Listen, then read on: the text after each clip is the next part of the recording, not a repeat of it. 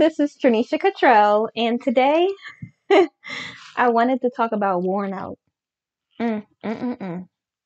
So I know when you hear me say worn, worn out, you're probably thinking people wearing out their welcome or something like that. Today, I have just been thinking about like just you know when you get tired in your life when you feel like you you just don't have enough energy to keep going or you just feel like oh my gosh there's so many things it's one thing after the other or you might start the you might wake up in the morning and feel like you can conquer the the whole entire world and by the end of the day you just feel exhausted. The end of the day you feel worn out. You just feel like you have nothing left to give like you've given everything to the day you know? And some days i feel like that. Some days like today I had so much energy. Like this morning, I did my 20 20 20 thing. I did not make the 5 a.m. club this morning. I am really trying to do whatever I can to just make that happen because I want to be the best version of myself and I want to give everything I can to the world. Like, I want to pour into myself and then be able to help other people.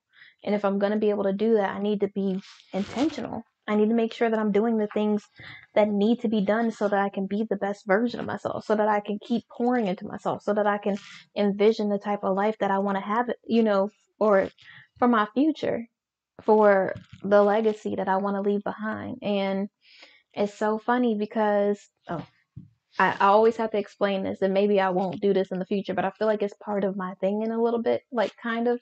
And so the hat, this is my new hat, you know, first love yourself. And I just wore backwards because, you know, I just like to do that sometimes because nobody does that anymore. And then I just paired it with some hoops and uh gold necklace. This is my serenity necklace. It has the serenity prayer on here to remind me to release control and give it all to God. And then I just have on a chunky bracelet. I got on this um it was raining today, so I put on this like rain jacket. I have the light blue bodysuit, um, light wash jeans, and then I wore my Dunks, my Dunk lows with them, with this. And I have my hair like this because you know usually my hair is in like a different style or something unless I'm about about to work out or I had my swim class and so today I had swim class so I had to condition my hair and you know this is like how I did it afterwards just after the conditioner set in and everything so I might still have to like rinse out the conditioner and then lock it in with the oil and stuff and a little bit when I go take my shower before I go to bed. But I just was like, I wasn't going to do a video. Just to be transparent, I was not going to do a video. I was, you know, God kind of gave me the option. It wasn't like I needed to be here, but I felt so exhausted. I really felt like, okay, well, at this point, it's too late for me to make the 5 a.m. club tomorrow because by the time I finished grocery shopping and picked up my daughter and everything and got home, it was after 10 o'clock. And so, if I really want to have seven hours of sleep, it's it just wouldn't have been possible. I would have had to sleep until 5:30, 6 o'clock, you know, in order to even make it. And then I, that means I would have had to fall asleep right at 10:30, which it takes me a little while to wind down. And so, and I have to do my wind down process. So, it's just every day I, I try to be intentionally, you know, meeting this 5 a.m. mark so that I can get my life together, you know. And it's not that my life is all over the place. I just, I really want to do the things that God put on my heart for me to do. Yeah, so I did a quick pause and I went and I started working on some business stuff that I told God that I would start today he said that it had to be today that I started. And so I have like 30 minutes left of the day and I I did everything that I could tonight. Some of the stuff is just I'm so tired. I definitely have to go take a shower and, and get some rest and stuff like that. And it's so weird because I just don't want to miss another opportunity again.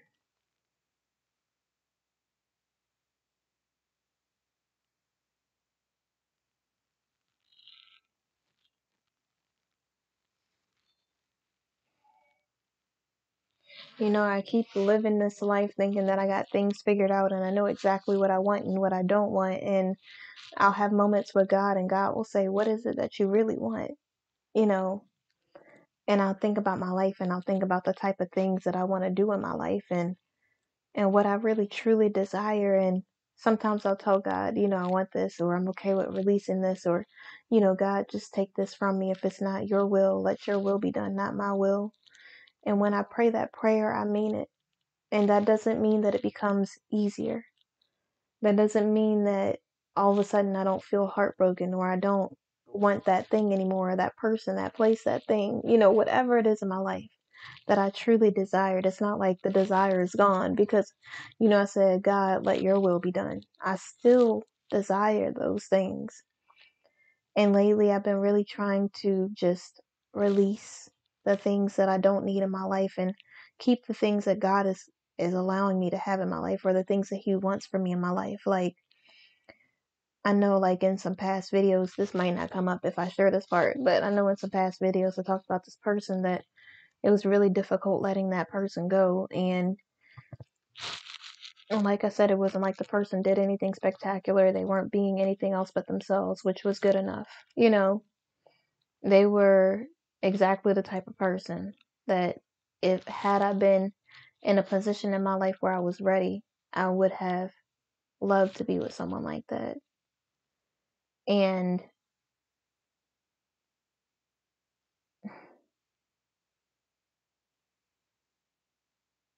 it's funny because God will ask me certain questions and he'll be like, What is it that you want? I know I said that before, but he will ask me and I really have to think about what it is that I really want.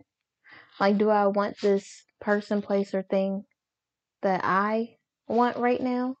And do I want them for the right reasons? Do I want them because I want to be there for them? Because I I would be understanding and patient and kind and not keep records of wrongs or, you know, any of the other things. Like, would I really truly be there for that person? Would I really truly appreciate the thing, the the place or thing that God has given me? Or would I just take it for granted? You know, I'm I'm saying, God, you know, I release this. I want it to be your will. And while I'm in the waiting season, it doesn't feel good releasing something that you want. You know, it feels like you're waiting while everyone else is living their life. It feels like I really don't like saying this, but I feel like it might help somebody not feel alone. Sometimes it feels like God forgot about me. Sometimes it really truly feels like you look around and you're extremely blessed. You have everything that you need.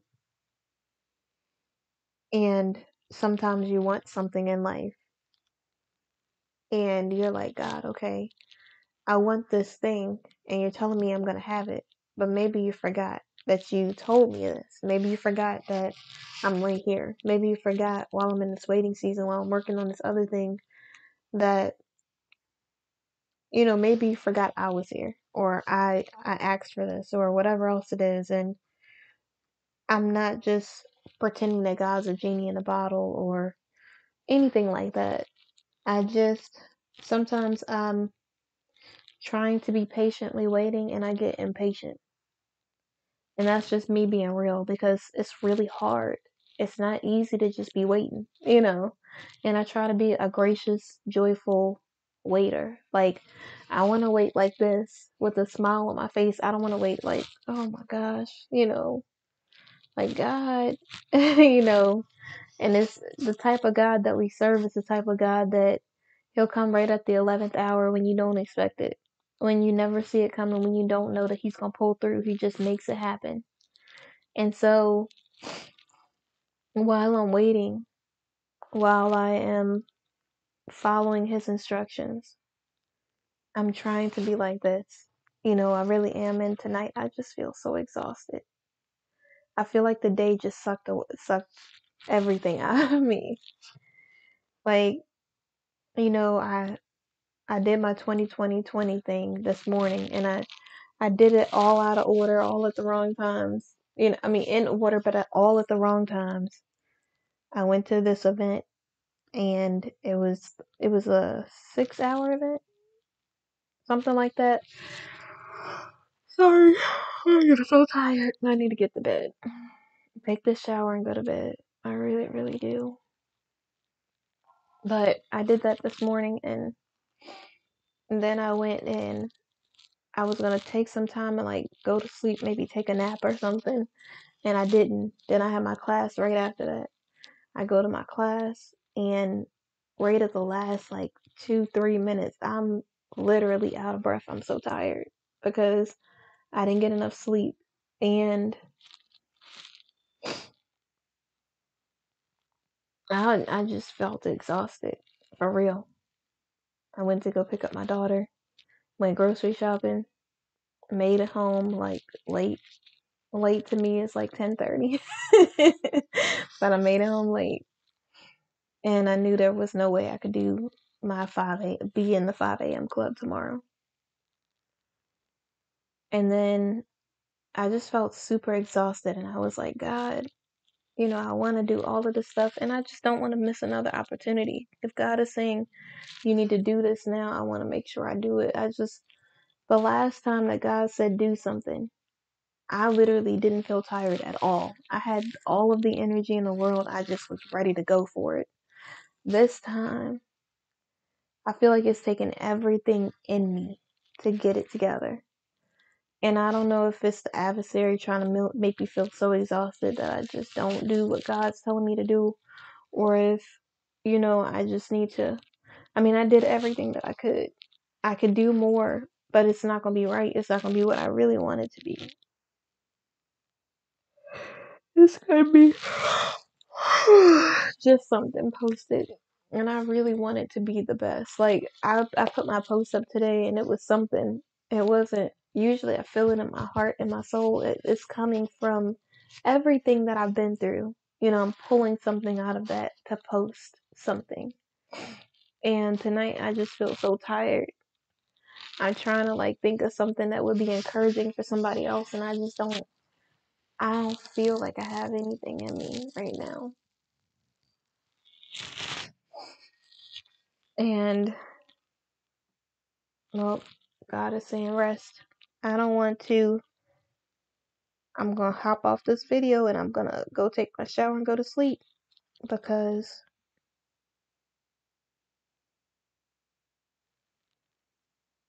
God is going to allow me to allow me to rest because I was obedient. Okay, so I'm gonna go to sleep because I really do need to get some rest. I just I want you to know that God is always with you, always. Even when it seems like it's not going to happen, when it seems like there's no way how, God can make a way out of no way. Even when you don't see how your business can grow, you don't see how you'll meet your husband or your wife, you don't see how you'll find a job that is going to be beneficial for your family or for you as a single mom or whatever else, God is always working it out for you in the background. God is always making the impossible possible. When God sends my husband,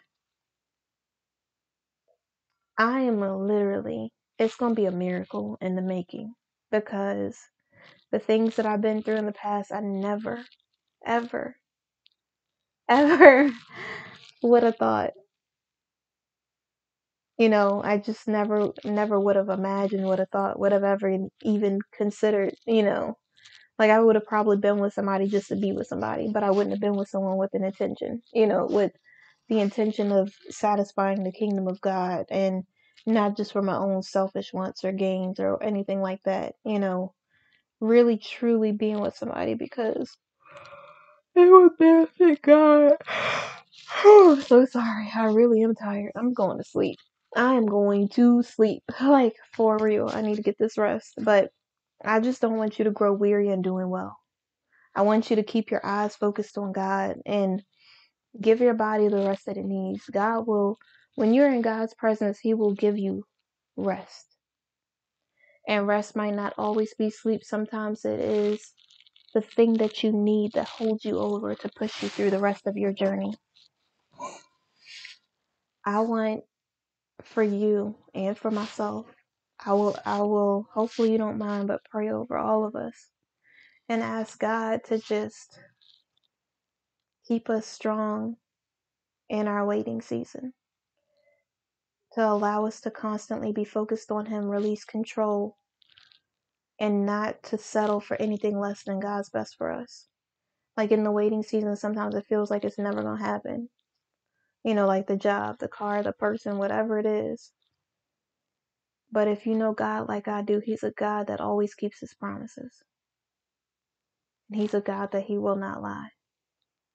So if God told you He's going to give you something, it's coming. As soon as you ask for it, God is already shipping it to you. You just have to be patient. You just have to not grow weary in, in doing well. You just have to feed yourself with the right things. I was in in this thing earlier today and it was focused on God. That's the the conference that I went to and I wrote down this note that really stood out to me and I hope it'll bless you.